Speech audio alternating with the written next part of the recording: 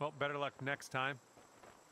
Okay, green side sand. Let's see what you have.